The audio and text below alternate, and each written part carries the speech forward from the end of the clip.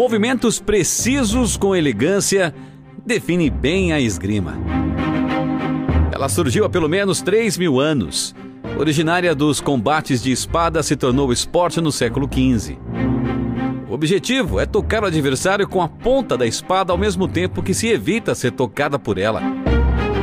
Cada modalidade tem sua regra. Para entender o esporte, é fundamental saber que possui três tipos de armas: florete, espada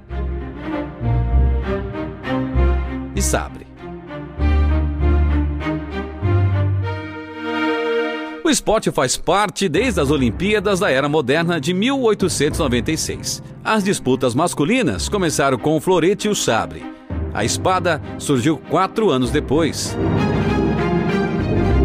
As competições femininas começaram com o florete em 1924 e foi a única modalidade permitida para elas até 1992. Só em 1996 puderam competir com espadas e o sabre só em 2004.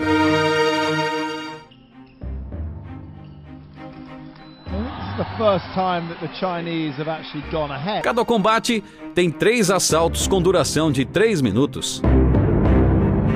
A vestimenta é tradicional, branca, com luvas e proteção para o rosto. A gente vai mostrar para você como é um desses combates. Os oponentes se preparam. Eles testam os sistemas das roupas, tocando as espadas um no outro, e assim acionam as luzes vermelho e verde ao fundo. Reparem, Toda a roupa é ligada nesse sistema eletrônico para facilitar a visualização de quem venceu o combate. Tudo certo? Oponentes em seus lugares. O árbitro dá o comando.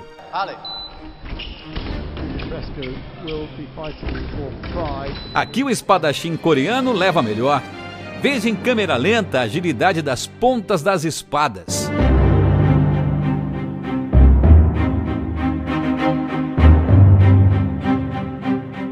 Impressionante, não é? Nas Olimpíadas 2016, devemos ficar de olho nas lâminas dos floretes. Isto é, se for possível. Afinal, a lâmina é o segundo objeto mais rápido das Olimpíadas, perdendo somente para as balas no tiro ao alvo.